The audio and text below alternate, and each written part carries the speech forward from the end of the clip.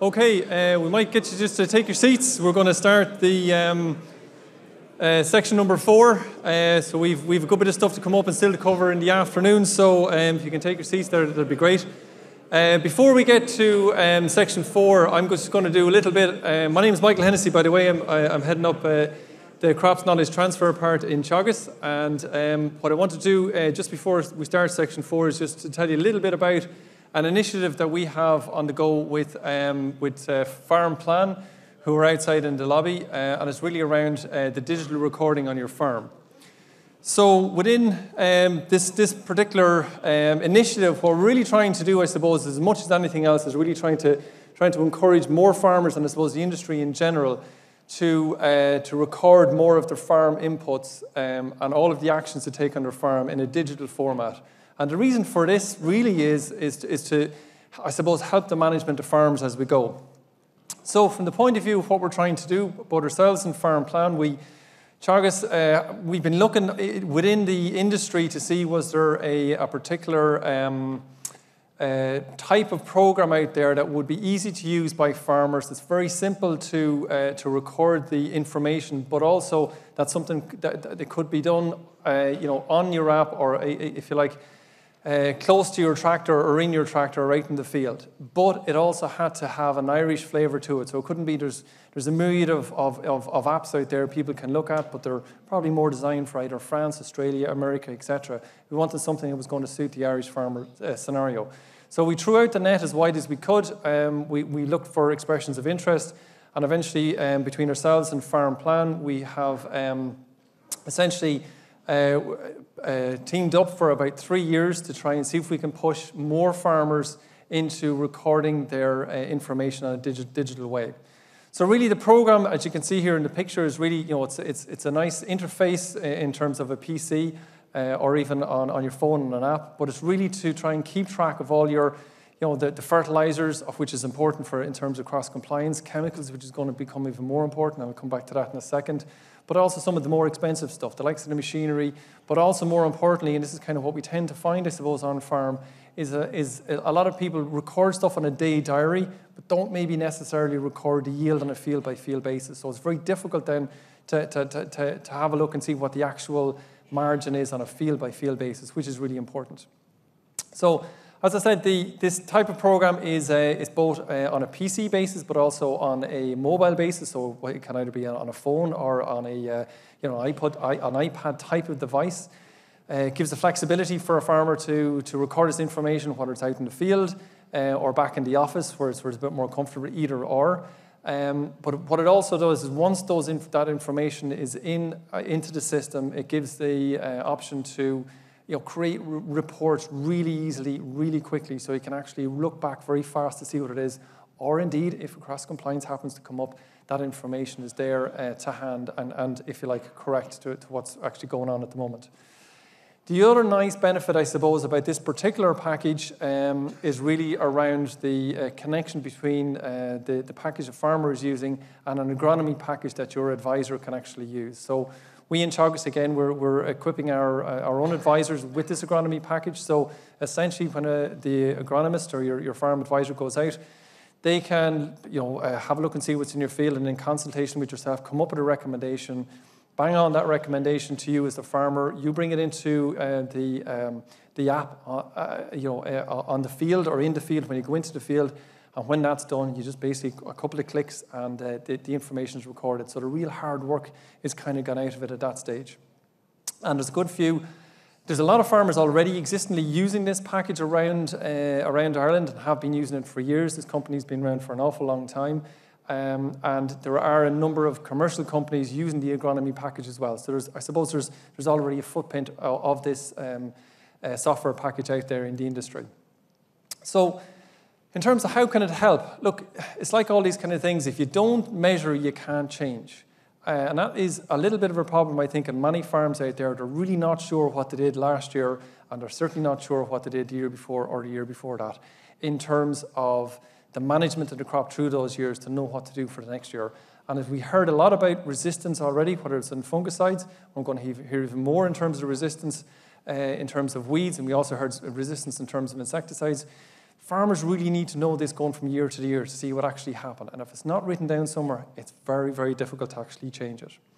So, like I say, the, the, the Gatekeeper can keep track of uh, everything kind of from your, your uh, the variety that you have in the field or across all of the farm. The varieties all the way across it, so you can kind of compare varieties. Or you can compare crop types, whether wheats, winter wheats are doing better than winter barleys, etc. Um, but also then across farm units, because you know larger farmers now have larger units in it, and that all works really well. But more crucially, really, it's from year to year, and that's the more difficult one to try and compare, to try and make a decision of whether a system is working better on your farm or not uh, in comparison to normal. And obviously, it gives you an opportunity then to interact with ourselves, with some of our own programs, the likes of eCrops, uh, or e, uh, eProfit Monitor, I should say, to try and compare your farm with other farms. And it's only when you do that you can figure out whether the results that you have are actually you know, pretty good in terms of the industry standard or your average, or you, you can improve or not. So, from the point of view of, of getting access to Gatekeeper, um, we have, again, with the, our collaboration with um, Farm Plan, uh, we have, I suppose, set up a thing uh, to basically um, give our clients, uh, the Teagasc clients, access to it at a relatively cheap rate. It's basically a 50% discount in year one, uh, 35 in year two, and 20 in year three, to give people an opportunity to start recording these type of information at a relatively low cost entry point. So it's really to try and um, encourage farmers to just start at it without costing you a huge amount of money to see how it suits your system. And this, this system mightn't be for you, but in a general sense, again, for me standing up here, Teagasc in a general, general way, we just want people recording stuff digitally so they can go back and compare and be able to make uh, a, a, decision uh, or help in their decisions throughout the year. In terms of um, getting uh, involved in it, um, it's relatively simple. Contact your local Teagasc advisor and, and, we'll set you up with those discounts. Um, the, we, we will then set, set you up, then uh, send you across the farm planner where you set, set, your, set your system up there. In terms of setting up can always be the really difficult part, and this again was something we were really conscious of, that Farm Plan have an absolutely excellent uh, support service, whether it's a, an online helpline, there's videos, there's manuals, there's uh, questions and answers pages, but there's also, we've set up a scenario whereby Farm Plan will uh, contact farmers once to set up on a, uh, on a bi-monthly basis for, for a little while to make sure that the farmer's making progress putting the information into the system. So we have it kind of set up so that your initial setup until you get used to using the system should be a good lot of support for you through that farm plan uh, type scenario. Coming from and listening to some farmers who are already a part of this, the, uh, the feedback is excellent, and the feedback really is once you get yourself set up with the farm into it initially, it's actually a really simple process to, uh, to record uh, on, a, on, a, on a day-to-day basis.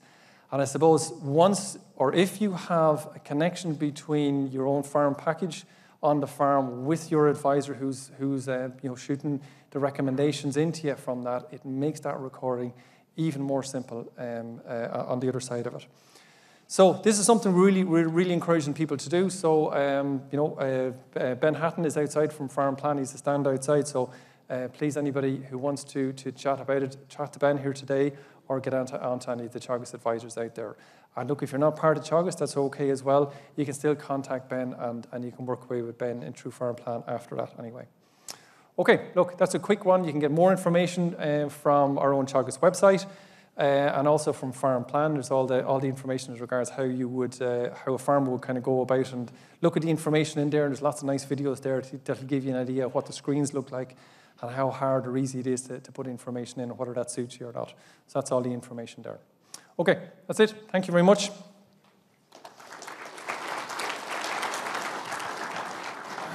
okay, uh, so we're going to head on straight from there. I'm going to chair the next session. Uh, the next session is session four, so we're going to do uh, it's uh, research highlights. Um, and we have about six different highlights, so it's going to be a really short. You thought the, the, the, the, the first bit was uh, fairly short in terms of uh, pretty snappy presentations. These presentations are even more snappy. Um, so we're going to go through uh, about six or seven. We're going to talk about mycotoxins. We're going to talk a little bit more about um, aphids and, and virus testing. A little bit around beans in terms of the assessment of beans for nitrogen, uh, and also assessment for beans for chocolate spot, and also a little bit about oat research. So we've, we've various different uh, really great researchers, uh, young researchers who are coming into the system set up to, to do that, but also some of our existing colleagues as well. So, uh, with that, what I refer to, I'm going to call uh, Diana to, to the stage to talk about mycotoxins. Diana?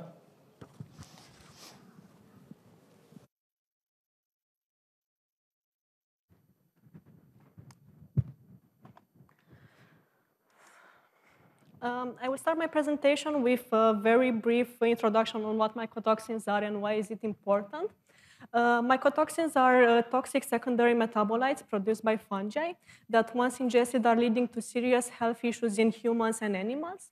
And uh, as there are uh, growing concerns regarding the toxic effect that uh, emerging combinations or modified mycotoxin have, a mycotoxin found in crops, EU is considering imposing new limits for the mycotoxins commonly found in cereals. And for this reason, uh, Mycotoxi is proposing a strategy, a farm-to-fork strategy, to minimize uh, the toxin contamination in cereals and to deliver safer, sustainable, and traceable food. And I have to mention that this is a large project that just started last year, and it, it involves a number of important partners. And it has three main pillars, uh, which are to standardize the methods used for uh, mycotoxin uh, detection in uh, cereals, to detect, uh, to determine uh, what are the key factors that are leading to mycotoxin contamination at farm level, and to determine what is, it, what, what is the impact that um, milling and processing of grains have on the mycotoxin level. And using the information from these three pillars, uh, we are aiming to collect the information that would help us advise and mitigate the risk of mycotoxin exposure.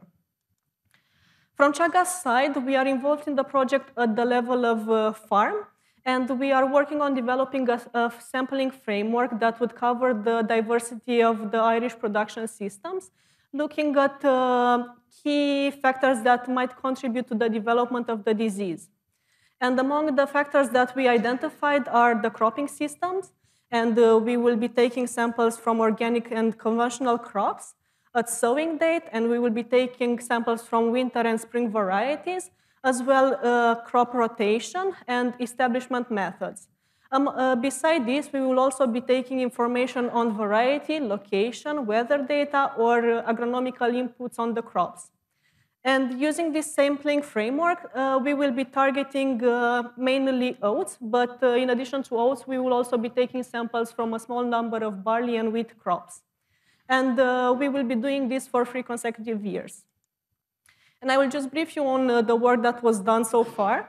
Um, although the project started halfway through the growing season last year, we were already able to identify a number of crops, and we sampled over the summer a large number of crops, of which we had both winter and spring oats, uh, cultivated both after a cereal and after a non-cereal crops. And beside this, we also took samples from a few uh, barley and wheat crops. The only one that we were not able to cover as much as we would have liked to was the organic oats, but that was mainly due to the high temperature during the season that pushed the harvest forward. And for the first season, we were able to collect samples from 55 commercial crops before harvest, but uh, we also took uh, samples from the harvest, and we will be also getting information on the crops. Using the samples obtained, we are currently working on isolating fusarium species to develop a biobank of fusarium that would give us information on the sensitivity level in the field and the risk uh, that the crops are exposed to. And uh, at the same time, we have different partners in the project that are working on uh, doing the same kind of service in Northern Ireland or to uh, determine the level of mycotoxins present in these crops. And uh, in the following period, we will start to identify the crops that will be sampled for, the, for this season so if you are growing crops and you uh, want to collaborate with us, we are more than happy to discuss.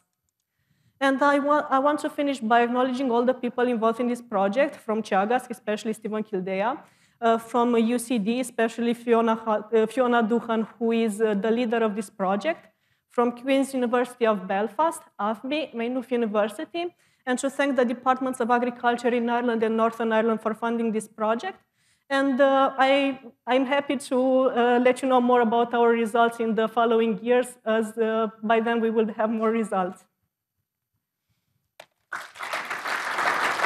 Very much. Thank you very much, Diana. Uh, you might join me across here in the podium, and uh, I want to call Max uh, up next. And Max is going to talk to you a little bit about how BYDV can affect how aphids interact in plants.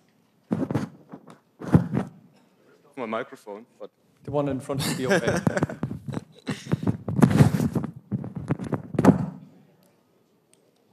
All right. Um, thanks for the introduction, Michael. Um, today I'm going to talk about virus vector manipulation. Um, if this is the first time you hear about that, um, so basically plant viruses um, are able uh, to manipulate aphid behavior.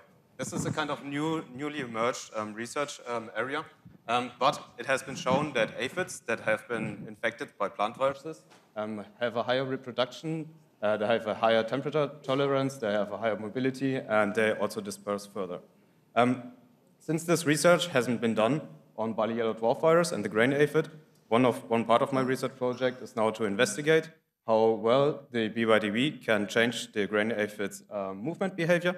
And also, since we have different predominant um, BYDV species in Ireland, um, if the movement behavior the, um, is diverse, um, if there are differences in in between the BYDV species and the aphid movements behaviors. So first, um, how can we um, measure aphid dispersion? So this is an experimental setup. So basically, you can imagine it like a dartboard. We have the numbers 1 to 10, and those are placed in an arena, which are basically um, with, uh, covered with white walls, so the aphid does not get, uh, get distracted um, by any um, visual cues. And then um, we put the aphid uh, in the middle, and then we monitor the aphid behavior, how far it goes within for 300 seconds. So what we want to measure basically is um, the maximum dispersion. We have it scaled from 1 by 10. And then we test healthy aphids and BYDV infected aphids. And if you want, you can count with me. So basically, in healthy aphid, it starts smooth from 1, uh, maybe to 2, to 3, to 2, back to 1, and it stops in 3. Maximum dispersion was 3. Now we can do the same with BYDV carrying uh, aphids, and we can see differences um, in, their, uh, in their maximum dispersion. So basically for BYDV carrying aphid, it looks kind of like this. Um, they, they start in the middle and they tend to, to run out. Um, we do that for uh, 300 aphids. So over time, um, one by one, you start to see patterns um, when they overlap. So we have loads of aphids. Uh, it's only one aphid at a time, but there's overlap. Um, most of the healthy aphids, they tend to stay in the middle or do not disperse that far. Of course, there are some exceptions, but virus-infected aphids, they tend to, to run away. Now, one of the main questions is, since we have two predominant um, BYDV species in Ireland, um, we have BYDV GAV, which is thought to cause uh, more mild symptoms, and BYDV PAS, which is cause, uh, thought to cause more severe symptoms. Um, can we see differences in those aphid manipulation um, behaviors. So in this graph, it's a so-called violin plot. Uh, we can see the dispersion that we have just seen from 1 to 10. And for this virus-free aphid, you can see in this plot, um, the bigger basically the belly, the belly is, the more aphids behaved this way. So for virus-free aphids, most of the aphids, they were just uh, sitting around or moving not, not fast. Of course, a few were just moving, um, but the uh, median is down at 2. Now we take um, BYDV infected aphids with the um, more mild uh, virus, and we can see um, that GAV, that the infection, the belly is still big, but there's also some aphids uh, moving uh, a lot. Uh, it's getting obvious um, when you get to the um, uh, more thought uh, to be more severe virus strain, BYDV PAS. There's only a few aphids sitting around, but most of the aphids are running away. It's, it's crazy. When you put them in the box, they just zone off. Um, so what could the uh, impact uh, of this be as conclusion? Uh, I could show that different virus strains can um, efficiently manipulate um, aphids in different ways. Um, therefore, if you think that in the field, it, it could be possible that some B, strains um, get spread faster and further. However, um, this, is, this, does nothing, uh, this does not conclude the efficiency of transmission. So it could be that different strains get transmitted differently, um, if you're more interested in that, um, I have a poster outside on, on virus transmission. And uh, with that, uh, thanks for your attention. Thanks very much, Max. Uh, you might come and join us across over here. And um, just before I, I, call up Virgil, but Virgil, come on, come on up uh, along the way. And Virgil's going to talk to follow on from, from Max's uh, presentation and talk about uh, how we can use really high tech solutions to try and figure out what aphids are there in the first place. In the meantime, don't forget uh, you can ask questions on the uh, on the Slido. So throw, some, throw up some questions there, and we'll, we'll throw them to, to the panel here at the very end. Virgil, stage is yours. Thank you very much. Um, so when we think about monitoring the grain aphid, uh, we first have to keep in mind the complexity of the situation. So as Louise told you uh, this morning, the grain aphid is only one of the 25 aphid species that are able to transmit BYDV. And those different, uh, inside this uh, species, uh, there are multiple varieties, or we can call them lineage, of BYDV, and those lineage are supposed to, to behave uh, differently regarding uh, the transmission of the BYDV. So this is what we call genetic diversity, and we want to know uh, which, uh, which uh, lineage we have in the fields. But also we want to know if, they are, if the aphids are carrying the resistance to insecticides, and also we want to know what is the stature of the virus, so what virus they have if, if they have virus or not. Because uh, as Max told you, there are different species or strains of BYDV, and this, is, this would be important to know which, which one uh, is in which aphids. So in the past, all those three features were um, assessed by three different assays that were not compatible with uh, each other. Uh, first, the genetic diversity was assessed by, um, was requiring some special equipment that needed an outsourcing. So this was, uh, as you can imagine, generating high cost in time and money. And the KDR diagnostic was assessed by PCR tests that can sometimes be prone to false negative. And also the BYDV detection was done by uh, expensive serological tests that were not uh, displaying the information on which uh, strains we had uh, inside uh, the aphids. So the idea behind this new test, uh, mesh, is to uh, simplify the information and uh, the situation and to combine these three tests in one single high throughput test that will give us the information in a more um, reliable way and faster and cheaper. So how did we do to do this test? So there may be a, a, lot of information on this slide, but we will, we will go through the main points together. So I already had the DNA of the grain aphids uh, for one variety, and the goal was to compare the different DNA from different uh, lineage or variety of aphids uh, to be able to uh, find out where the DNA were differentiating, uh, differentiating the, between the different, uh, different varieties of aphids. So uh, that allowed me to uh, differentiate uh, the individual using uh, DNA uh, as a fingerprint. And I did exactly the same for uh, the virus identification. I was able to have different virus um, strains from all around Ireland, and I designed the test in order to differentiate those different uh, strains. So that allowed me to uh, design a pilot plate composed of uh, 96 aphids uh, that I tested with, the, with aphid mesh. And I was super happy because uh, for the first uh, try, I was able to reach all my goal. And I was able to know that 28 of the aphids that I tested were having BYDV. And more important, four of them were both susceptible, both um, positive for um, resistance and BYDV. So does that um, explain why it's uh, important to uh, survey the grain aphid because it's only um, a small part of the of the population, but still it's very important to know uh, which we have what we have uh, in these aphids.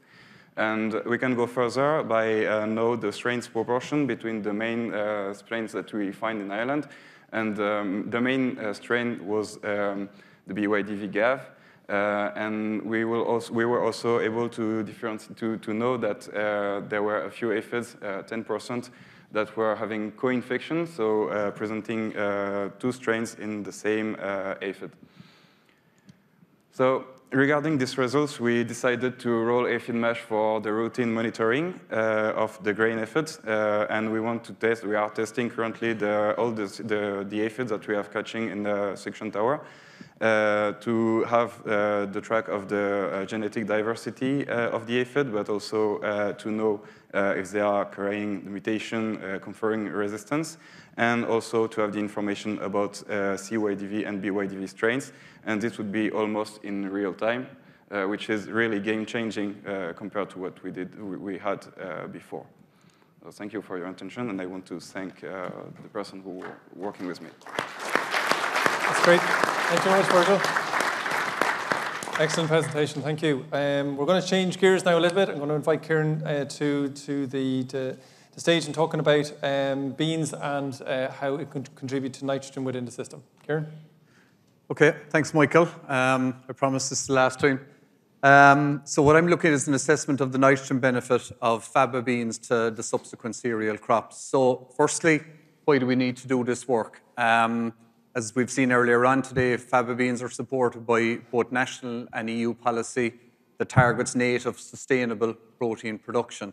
And we're seeing that through the likes of the EU Green Deal and Farm to Fork, but also through Ag Climatise, which targets 40,000 hectares of protein crops. And then we've got the CAP, uh, the protein aid, which is now 7 million to support 20,000 hectares in this, in this CAP cycle.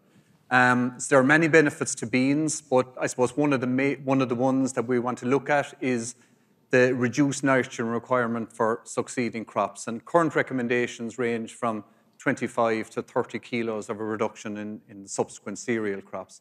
However, um, I suppose farmers sometimes don't have confidence to reduce nitrogen rates by that much uh, in crops following beans. And I suppose that's based on our high precipitation throughout the season. Um, you know, so this is research is needed to assess the nitrogen benefit to the subsequent crops in, in Irish conditions. Um, to do this, obviously, we need an understanding of the nitrogen cycle. So, uh, beans being a legume in the, the, the, blue corner there, we've got atmospheric nitrogen, which the legumes obviously use um, to grow and develop and, and produce grain. Uh, the brown bit in the middle, we've got both organic and inorganic forms of, of nitrogen. Um, and then we've got the, the nitrate that plants in the middle there will take up. And then we've removals in the yellow box, you know, at, at harvest time. But I suppose significantly then we do have crop residues being returned to the soil, increasing soil organic matter, and we also have nitrogen sparing there from, from legumes. And I suppose the red arrows then at the bottom are, are a crucial bit in terms of nitrate leaching to the soil.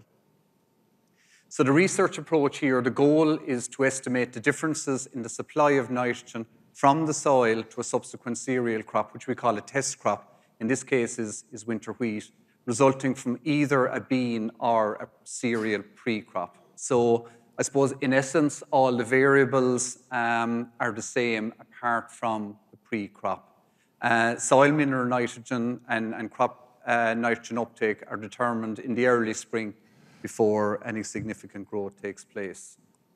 Um, and then we have no fertilizer application into the, the wheat test crop, and that's to determine, I suppose you call it, theoretical yield benefit potential of the faba bean. So you can see in the picture there, uh, the farmer will put a cover over the crop when, when nitrogen is being spread, so we'll have these zero N plots within the field. And then um, nitrogen uptake data then would be used to compare the effects of the relevant pre-crop, whether that's, that's beans or, or cereal. So this project is, is just started. Um, so just in year one, look, just preliminary really, but four to five sites had higher yields in, in, to use that as a measure, where beans was the pre-crop versus cereals with an average there of, of 1.2 tonnes per hectare across the five sites. This is going to be repeated and then a larger study commenced across more sites because the number of sites is, is, still small, and the nitrogen analysis from last year is, is ongoing. Um, and just to acknowledge the Irish Seed Trade Association for their support with this work, uh, my colleagues in Teagasc, uh, Dr. John Carroll in SETU, and the host farmers as well. Thank you. Great, thank you very much, Karen. Uh, come across and join us over here. Um, so we're going to stick with beans, and I'm going to invite uh, Jamie to the uh, stage to talk a little bit about uh, chocolate spot in beans. Okay, thank you very much. Um, so you've heard a lot about the benefits uh, of faba beans today. Um, but the problem is that what we're really lacking is the breeding strategy to develop varieties that are adapted to the conditions that we're experiencing in Ireland. So disease pressures are, are very high, even though we have some varieties that are performing well, uh, disease pressures continue to compromise yield. And chocolate spot has been identified as one of the major diseases uh, impacting yield uh, in Ireland. So going forward, any new resilient varieties, it will be very important to include chocolate spot resistance in those. So this work aims to identify faba bean lines with that resistance and also to identify the genes associated with the resistance traits. And to achieve this, we're screening the ProFaba diversity panel, which is a panel of 200 faba bean lines, which have already been genetically characterized. And they are being investigated for a range of other traits, including early frost tolerance uh, and also protein composition, things like that. So in order to achieve these aims, the first step was to isolate the fungi causing chocolate spot. So that's from various field locations in Ireland. And then from those isolates, we needed to select those with adequate host virulence for our screening studies. And we developed the methods to support the pathogen growth uh, and infection in the lab. Uh, so following this, the disease screening process has three major components. Uh, and presently, the detached leaf and whole plant trials are being conducted in controlled conditions. And a selection of those lines will be taken to the field uh, for validation in field trials. So the first step of that screening method then, the detached leaf trials, for this we use the, the isolate 77A, which was identified as Botrytis fabae, uh, which is a fungal species, uh, the leading fungal species contributing to chocolate spot. And this was grown in media culture, and from here, uh, we produced a spore suspension which was pipetted directly onto the leaf surface uh, using this multiple droplet technique. So those disease leaves were photographed every 24 hours for a period of six days, and the disease symptoms were assessed as the total lesion area and percentage lesion area using this image analysis software, APSS. So from this technique, we were able to observe that faba bean line uh, did indeed have an impact on chocolate spot severity. Uh, and you can see, uh, so this is a progression from two days post-inoculation through to four days post-inoculation uh, with an example of three different genotypes. Uh, and this top line, line 24, you can see uh, is, is very susceptible compared to the other two lines. And also you can see differences in the rate of the disease progression. So uh, along the top here, you have this really rapid progression uh, of the lesion coverage uh, compared to this, uh, the line 61 down here, where the lesions stay very restricted throughout the, the progression of the experiment. So this could be indicative of some resistant traits, but that needs to be investigated further. So the next steps are to conduct uh, assays on the whole plant so we can see if what we're observing in the detached leaf trials matches what's going on uh, during the whole plant infection. So this is being conducted on a subset of the panel uh, using uh, visual scoring and image analysis, but we will also screen uh, the, the breadth of the whole panel under glasshouse conditions, and hopefully this will give us more uh, information on resistance traits to go into that uh, GWAS analysis. And finally then, we recently began our first winter trial uh, investigating 20 faba bean lines, and that will be tested under both natural and artificial chocolate spot pressure in the field. So that concludes my update. Thanks very much to my supervisors and all the people listed here for their contribution. Thanks very much for your attention. Great, Jamie. Thanks very much. Um, really well done. Uh, so finally, I want to, we're going to change again. Uh, we're going to talk about oats now. So Ati, can you come to the stage? Um, so we'll talk about the recent, or the research ongoing on oats. Attic? Uh, thank you, Michael. So I will uh, uh, give you a uh, quick update about the current oat research project in Teagasc, why we need this project, or why we need this work. The, uh, we want to understand more about the physiology of yield stability. We also want to understand more about the nitrogen efficiency in oat. And furthermore, we want to investigate the uh, oat mosaic virus and its threat to Irish oat production. So our first uh, project is about the development of a uh, winter oat guide. Now, previously, uh, we have seen the impact of uh, spring barley guide and uh, winter wheat guide and how it shaped our agronomic practices for uh, respective crops. So there is a similar need for oat cultivation as well. So in this, this project is at its second year on the ground and we are hopeful to deliver our final oat growth guide by early 2025. So moving on to the next project, Quick Oats. So Quick Oats focuses on understanding nitrogen use efficiency. Now, generally, oat is well known for its uh, better nitrogen use efficiency compared to uh, wheat and barley. However, there is a huge scope to improve it further. So in this project, we're going to evaluate, uh, we're going to observe the impact of uh, uh, genotype, environment, and management practices and its uh, interaction on nitrogen use, nitrogen, use, efficiency and grain quality. So some of the preliminary results you can see at the poster, poster stand number 13. So our next project is the Healthy Oat project. This is a EU Interreg funded project led by Fiona Doohan from UCD. So in this project, we are assessing heritage oat germplasm for their agronomic and grain quality purpose, uh, performances across three locations, such as Oak Park, County Meath under UCD, and uh, Wales uh, with uh, Aberystwyth University. So this is uh, at the uh, this project uh, is at its last year, and hopefully by early 2024 we will have more total final report from this project. However, I have few data to show you. Now, as I mentioned that we are uh, evaluating diverse panel of uh, heritage oat lines, and here I am showing you the grain yield for uh, selected materials which were grown in 2022 in uh, Oak Park. And you can see like uh, there are, the, uh, there are quite diversity among the heritage oat lines. Now, some uh, control variety like Timpani from uh, UK, from uh, Aberystwyth University's breeding program, is performing uh, quite well. However, there are some uh, heritage oat lines such as this one, 070, which is following closely the uh, Timpani, as well as it's performing well better than the other, uh, some of the uh, um, currently released varieties like Husky and Isabel.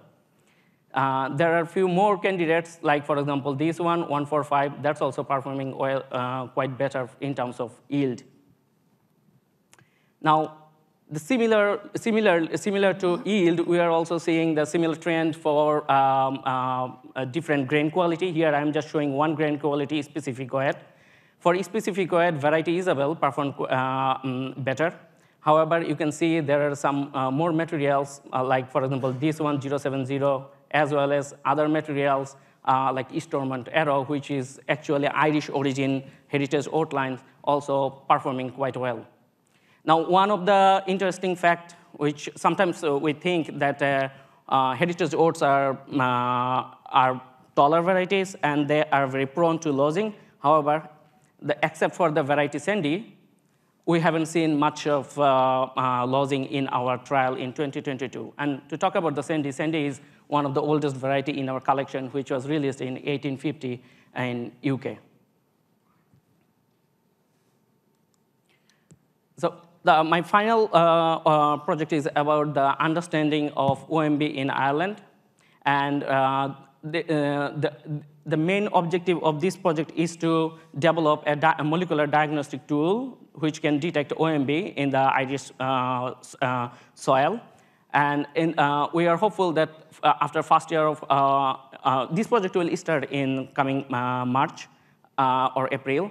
And at the first year of, of, its completion, we will have a diagnostic method which can detect the OMV in Irish soil. This will help us to identify or this will help us to assess the risks of OMV and its uh, spread uh, in the Irish soil.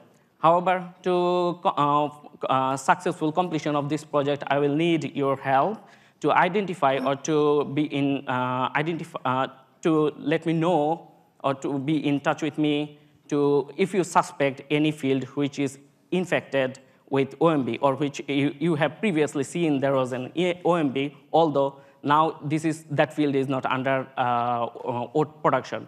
So please be in contact with me if you think there is a field which can be checked for uh, its OMV presence or absence. With that, I would like to thank all of our partners and students who are involved in this project. Thank you. Thank you very much, Adik.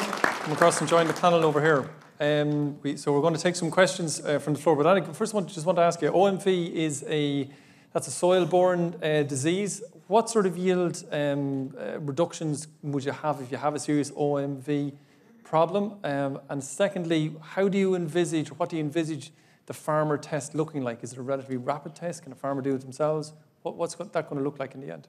So to answer the first question, so uh, according to some uh, literature, that uh, yield can be reduced by 50% under uh, serious OMV condition. And uh, second, to answer the second question, this is going to be a PCR-based uh, technique. So it is not going to be a kit-based rapid technique, but yes, it will be laboratory-based. Okay, thank you. Okay, some questions here. Um, Dan, I want to come to you first, the, the, the very top one there. Uh, it's around the loss of fungicides and I suppose the targets that are out there in terms of the EU, in terms of losing those fungicides. If we do lose a lot of those, will the mycotoxins build up uh, to, to, to, to unsafe levels? And where are we going to go with that?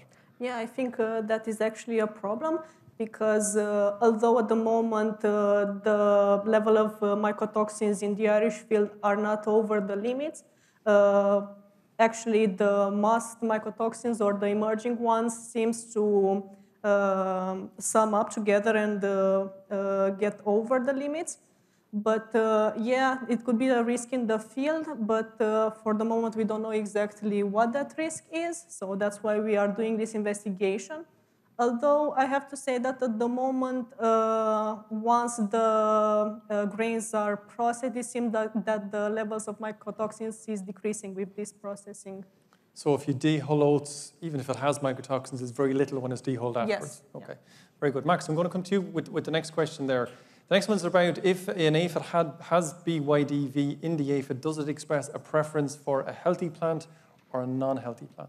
Um, so basically, I have not done those experiments, um, but I know um, from other papers that I read, uh, it's also part of the virus vector manipulation.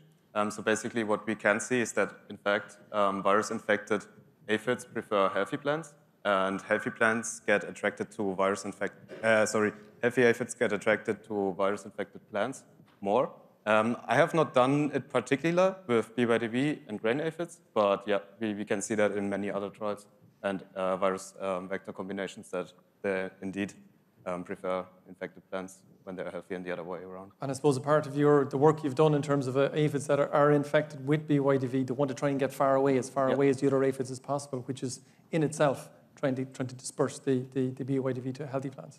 Yeah, um, I'm, I'm not sure if the, that's the difficulty about um, this, this kind of new project. Like, if the aphid itself wants to get away, or if the aphid makes uh, if the virus makes the aphid to go further away.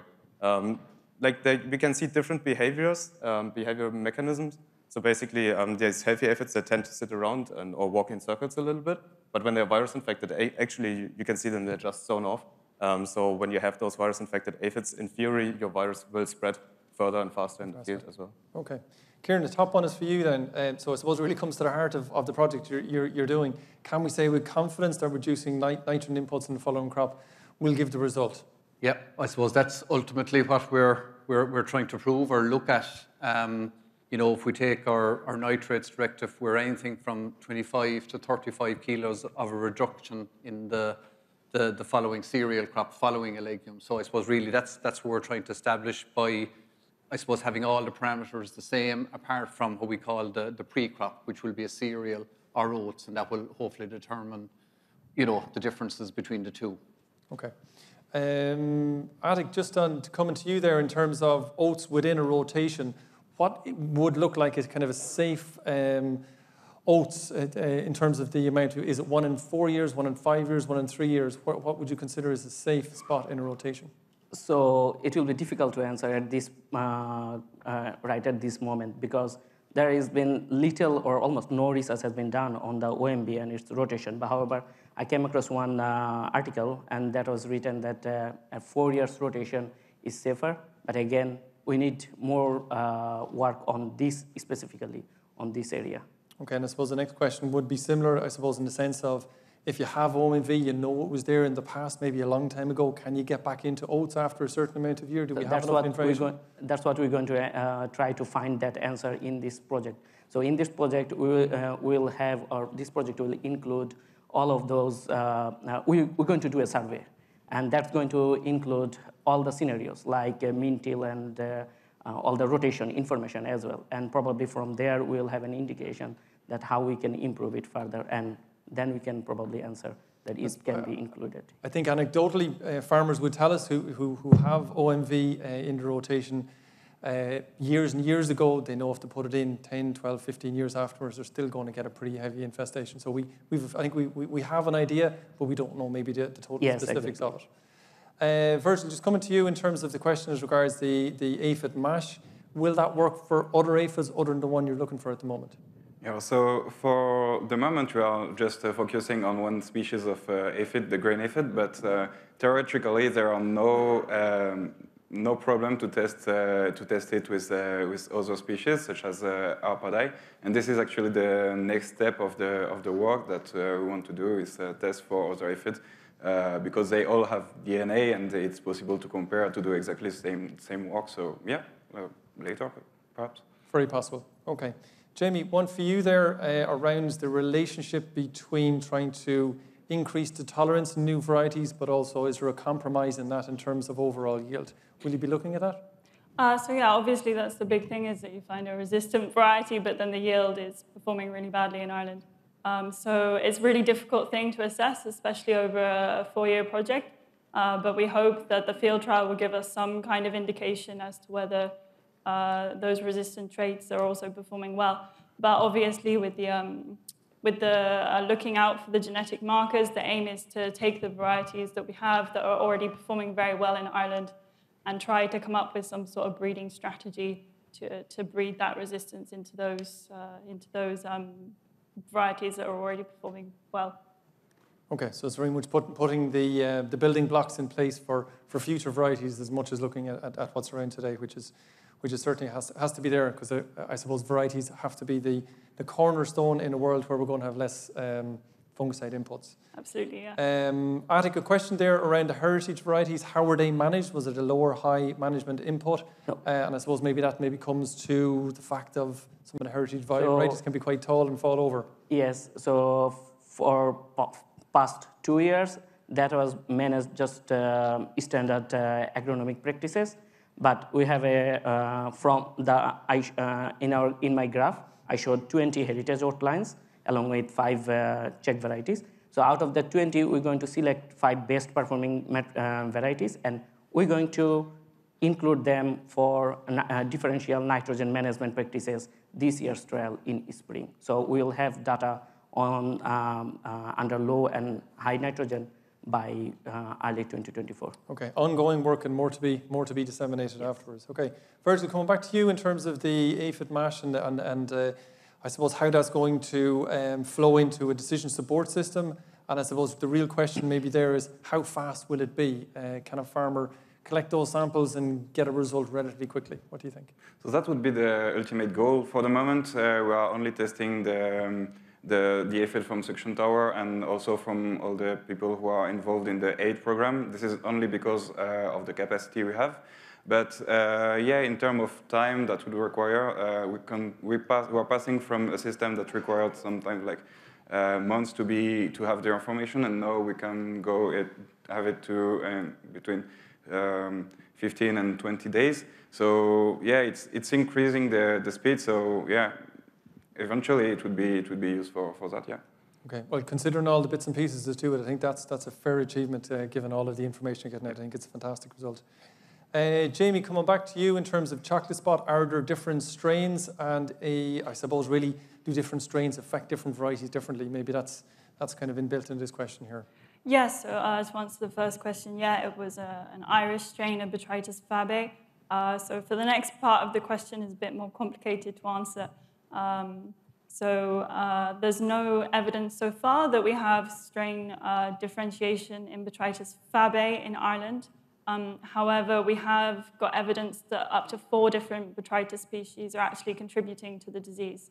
Uh, so there definitely needs to be more investigation into which disease that we have mostly here in Ireland, whether that is Botrytis fabae and whether there is uh, an impact on the different strains there. Okay. Uh, Diana, in terms of organic crops, have you sampled any of those organic crops? Are you seeing anything different in those? Yes, so uh, we are also targeting to sample organic crops. As I was saying in the presentation for the previous sample, uh, for the previous season, we were unfortunately not able to sample as many as we planned for, but we are definitely looking to expand the sampling for this season for more organic crops. I think we are targeting for 14 for this year. And yes, we are expecting some differences between, uh, be, uh, between the conventional and organic coats, as previous results show that usually the level of mycotoxins in organic crops is lower compared to the conventional ones. Okay, okay, great. Um, and I suppose we might um, maybe just stick with you down for a second in terms of um, that's only one season sampling, and but do you expect the mycotoxins to vary from year to year? We are expecting this uh, mainly due to weather conditions. These are contributing, and we are uh, taking uh, weather data for each of the season as well to see what uh, contribution it has to the difference level we see from a season to the other that we are sampling. And we plan to sample for three years. The project uh, will be lasting for three years, so at least for three years we are planning to do this sampling to see if there are differences. Okay. Uh, Jamie, the top one there, uh, you mightn't maybe maybe full answer to this, but uh, just get your opinion, at least, anyways, in terms of um, very important for farmers to try and get early ripening, get, get things harvested a little bit earlier because the beans tend to go a little bit later. Um, are you assessing that potential in, in what you're doing at the moment? And um, is, you know, do, do, you think there's any possibility that, that might, might, might um, evolve over time?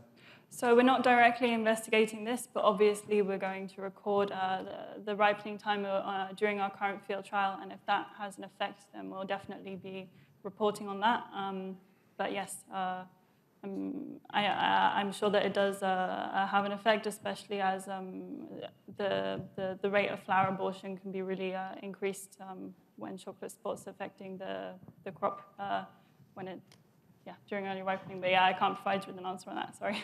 Okay, that's okay. Max, the next one's probably um, kind of complicated enough. I'm not even sure I can get my head around it necessarily, but if infected aphids were were attached to certain uh, metabolites only found in healthy plants. Could this be used in a virus carrier trap? Yeah, um, I think this is more like related to like uh, the idea of a pheromone trap. I think um, difficult um, because we don't know really what makes the aphid attracted to the virus-infected aphid attracted to the healthy plant and the other way around. Um, there's also the aphid also follow visual cues. So a healthy aphid prefers yellow plants, and then the other way around.